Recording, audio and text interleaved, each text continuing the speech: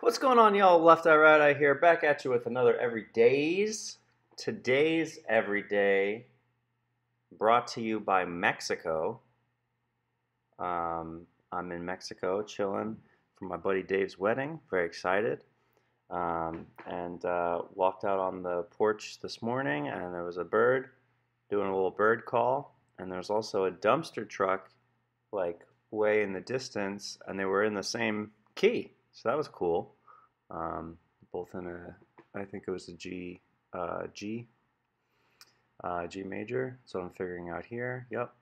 And um, yeah, and then I was messing around with some plugins, seeing what.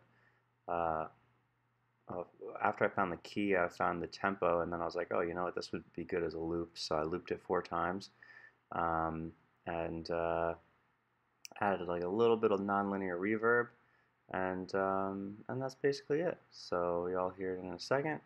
I uh, hope you enjoy the rest of your day. God bless, and I will see you tomorrow.